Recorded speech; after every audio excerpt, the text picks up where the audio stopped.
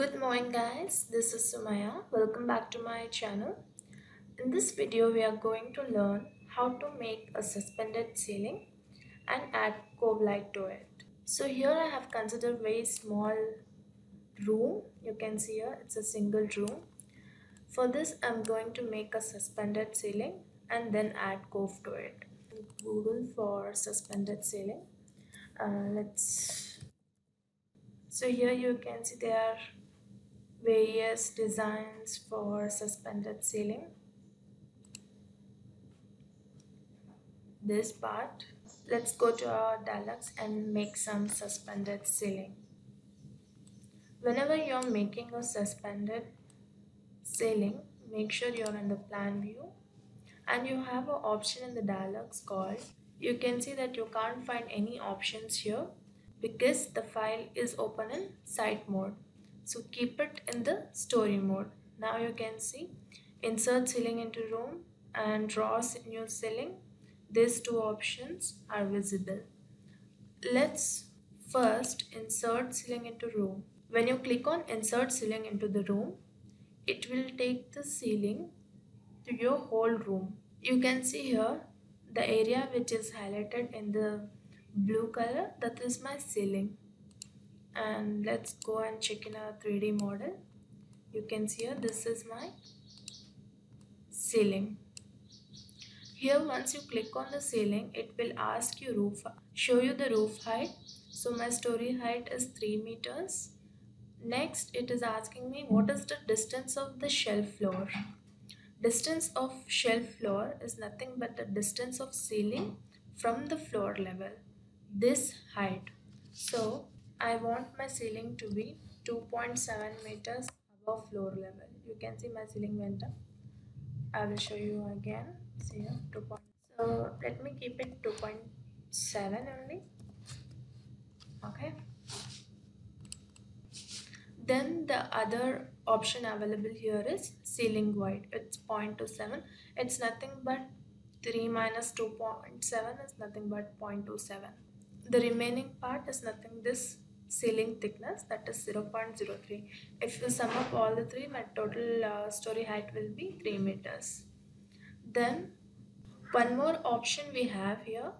This is the very important tool available here that is close sides. Once you click on close sides you can see this thickness appears. Once you click on close sides it is displaying me again another option that is of side offset. It is asking me to define the offset. Let's define and check what happens. Let me keep it as 0.1 meter. So now you can see side offset is nothing but the gap this one. Just make the higher value so that it is clearly visible. 0.2 meters. So you can place the cove, this part of the ceiling has moved back.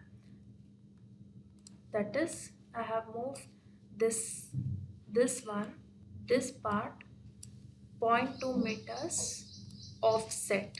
So this one you can use it directly when you have to place any ceiling and just give a, a suspended ceiling effect. Now suppose you want to draw the ceiling of your own considering your AutoCAD file then let's check it. Let's delete this one. Come to the plan view and select draw new ceiling. So uh, I don't have AutoCAD file here but you can consider the layout and the dimension as per your CAD file. So I will just uh, draw imaginary uh, ceiling. Will consider here. And close polygon I will adjust it to the straight line. Okay. So let's check it out here. I have drawn a ceiling such a way that it is not completely touching the walls. I'll select this one define the ceiling level from the floor. I'll make it 2.8 meters. Close offset 0.2 meters above suspended ceiling for this, now we are going to add some cove light. If you don't have any IES file for the cove light that is LED strip, you can go to Google and from the ELR website you can easily get the IES files. Go to the products, flexible strip, under flexible strip Leoflex and you can download the IES file here. So, so I have downloaded my IES file. I'm going to import it. Go to import luminaire file. Select. Next. So I'm not going to make any changes here. And once the IES file is imported come back to the plan view. Let's go to construction. When you're in the story mode unless you have selected the ceiling the ceiling will be displayed Suppose you're displaying some other object or something, the ceiling will not be displayed. So, so now when you're placing light, it is preferable to place the lights in the side mode so that my false ceilings are visible. So you can see this is my walls. Here is the window I have placed and this is the false ceiling. I'm going to I'm going to consider this draw line arrangement and draw lines from this point to this point. So here only one light is placed. I want to place continuous lights from here to here. So come down here uh, it is asking me to the number of luminaires. Let me make it some 15 numbers.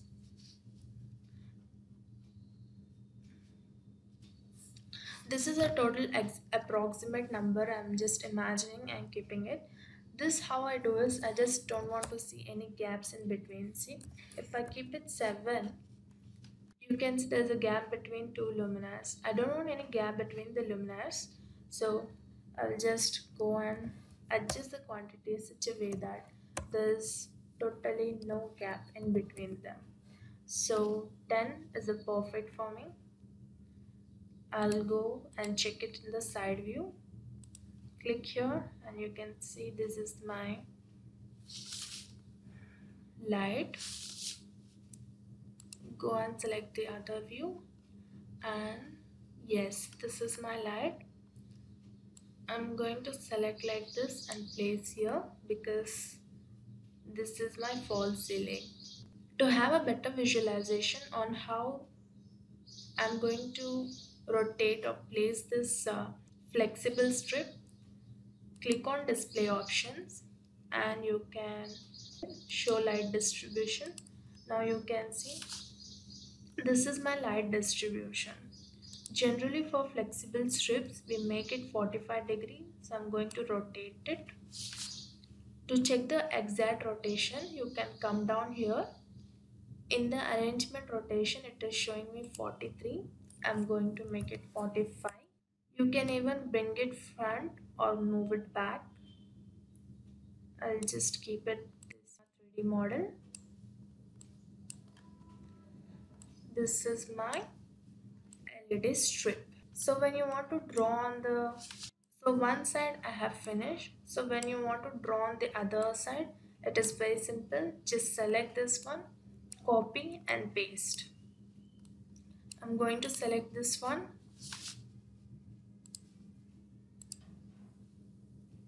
Go to the side. Control C control V. Bring this back.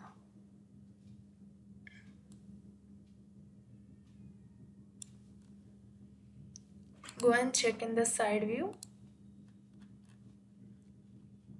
So this is my light.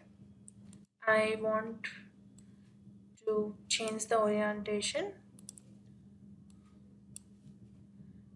it is minus 38 you can make it minus 45 so I finished placing my LED strips on two sides this one and this one.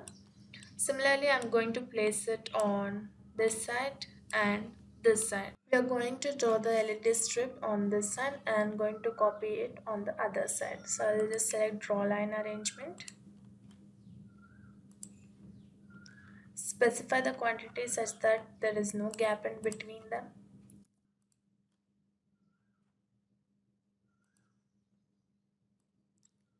Go to the side view and adjust the positions.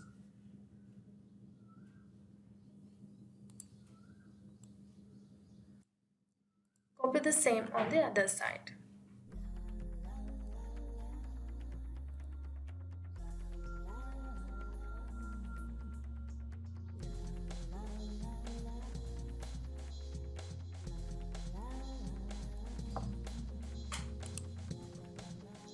So I've placed my LED strip on all four sides.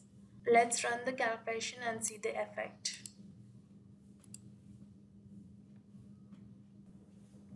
So you can see the effect my false ceiling with the cove light. So this is it guys. If you found this video helpful, give it a thumbs up and stay tuned to explore more in DIALux with me. Thank you.